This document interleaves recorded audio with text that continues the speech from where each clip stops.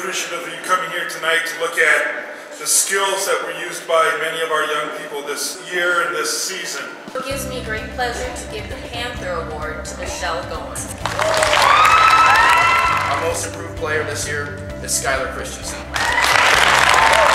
Winner of this year's Best Defender is given to a senior who has been our go-to defensive guy the last two years, and that's Ethan Olin. Award goes to our now back-to-back winner, Mitchell Giovanni. This year's MVP is Nick Montenmeyer. Seniors, thank you for your hard work and dedication to Panther basketball these last four years. I will miss the stories of Preston pulling pranks, Nick's fairly well-colored pictures.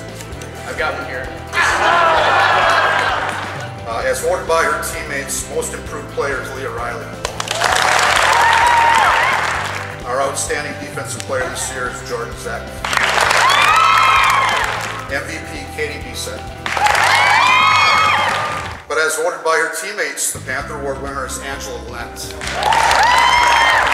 Thank you girls for a great season. Thank you parents for giving me such wonderful girls to work with. Thank you.